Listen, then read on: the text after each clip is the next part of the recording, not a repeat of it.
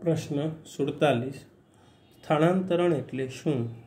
અન્નવાહકમાં ખોરાક અને અન્ય પદાર્થોનું સ્થળાંતરણ સમજાવો. પ્રકાશ સંશ્લેષણની દ્રાવ્ય નિપજો, એટલે કે પ્રકાશ સંશ્લેષણ દરમિયાન જે નિપજ બને, એ નિપજને ઓગાળી દેવામાં આવે, દ્રાવ્ય કરી દેવામાં આવે, એ નિપજોનું પછી વહન કરવામાં આવે તેને સ્થાનાંતરણ કહે છે. સ્થાનાંતરણ સાથે સંકળાયેલી પેશીને અન્નવાહક પેશી કહે છે. પ્રકાશ સંશ્લેષણની ક્રિયા દરમિયાન જે નિપજો એટલે કે જે ગ્લુકોઝ ઉત્પન્ન થાય, એની સાથે એમિનો એસિડ અને અન્ય પદાર્થો પણ અન્નવાહક પેશીમાં વહન પામે છે. આ પદાર્થો મુખ્યત્વે મૂળ તેમજ સંગ્રહ કરતા અંગો, જેમ કે બીજ, ફળ તેમજ વૃદ્ધિ પામતા ભાગો તરફ વહન થાય છે. અન્નવાહક પેશીમાં સ્થાનાંતરણ ક્રિયા કરવા માટે ઊર્જા એટલે કે એટીપીનો ઉપયોગ થાય છે.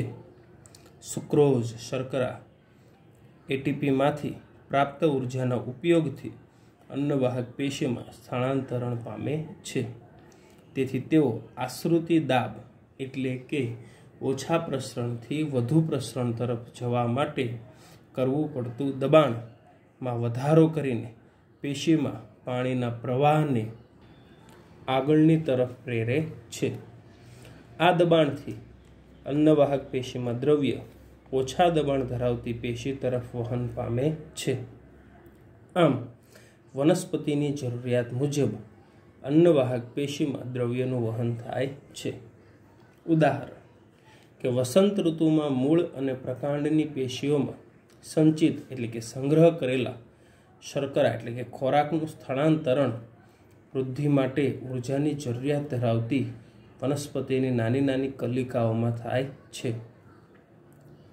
અન્નવાહક પેશીમાં ખોરાક અને અન્ય પદાર્થોનું સ્થાનાંતરણ તેને સંલગ્ન એટલે કે તેની સાથે જોડાયેલા સાથી કોષોની મદદથી ચાલની નલિકામાં ઉધ્વ એટલે કે નીચેથી ઉપર અને અધોવગમન એટલે કે ઉપરથી નીચે એમ બંને દિશામાં થાય છે.